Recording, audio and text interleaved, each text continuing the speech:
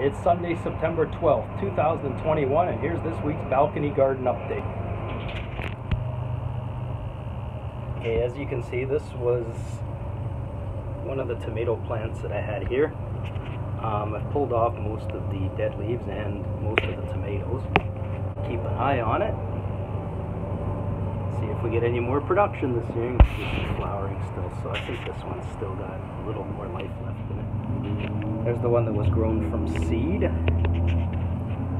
It's still on the balcony. It's interesting how it was grown from an orange tomato seed, yet we get orange and red tomatoes. There's no rhyme or reason to this whatsoever. The one thing that's consistent is you get really nice tomatoes from it. I'll just keep an eye on this one as it keeps producing. So let's head on over to my sister's place, see what's happening over there this week. Okay, so I start over here with the cherry tomato plants. As you can see, yep, they're still flowering, which is great in September. We've got quite a bit of tomatoes from this, still growing them, which is amazing. And here we go.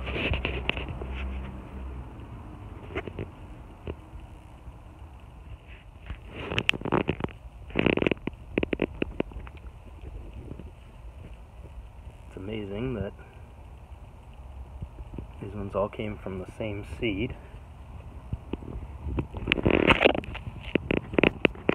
And yet these ones are red and the other ones are orange.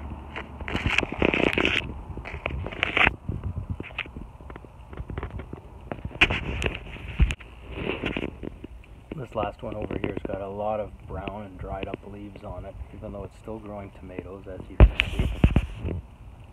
Those plants were kind of falling over, so it's almost mixed with the first big tomato plant here. Although it doesn't look so healthy at first glance, it still does have quite a bit of tomatoes on it. We've got this mystery plant here. I still think this is cucumber still just the flower, so I don't know if that'll turn into anything or not. And over here we have a pepper plant. You can see you got a small pepper that's turning red here. One that is red and one that's turning red.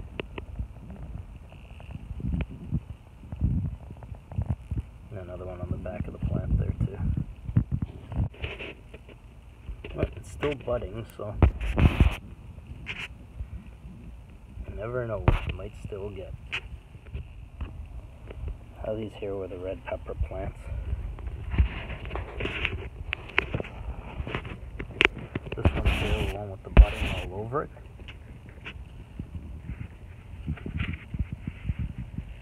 So we're to see if that uh, generates any peppers there. You can see it's still flowering as well.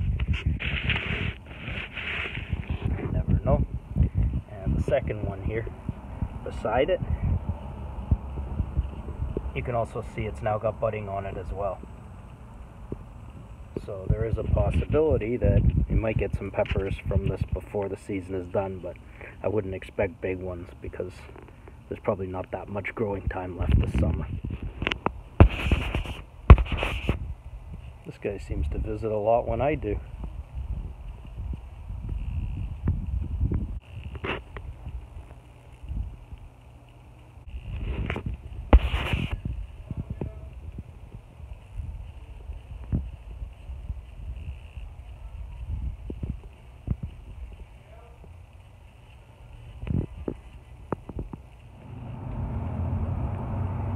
here we have the jalapeno pepper plant.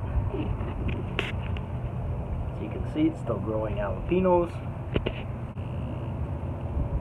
There's another hot pepper plant. See, this one's got a nice pepper on it. Doesn't seem to be doing anything else at the moment, just the one pepper. And we'll see if it does anything else before this season is done. It's the Hungarian pepper plant. You can see it's got a couple of peppers on it now. Still got some flowering. So this one still looks like it wants to produce some peppers this summer. Remember, at the beginning we only got one big pepper out of this one, so we'll see how this progresses from here. Now, we're in the home stretch with the onions here. It's interesting to see the ones that the roots have produced another onion, just where the greens are coming right out of the soil, and the ones with a little bulb on the bottom, as you can see, those were the ones that were grown from the beginning of the year. Garlic plants seem to be healthy, the ones that are still growing. And we'll just leave those in there at the end of the season, and hopefully we'll have garlic in spring. And last but not least, over here on the end, this was the lemon seed. And it's still just a bunch of leaves. Healthy leaves, actually. Well, here we are in the middle of September, and you can see that we still have summer-like temperatures here in the mid-20s, which is really nice for Toronto.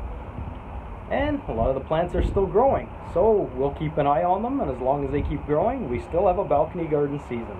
So thanks for watching, we'll see you next week.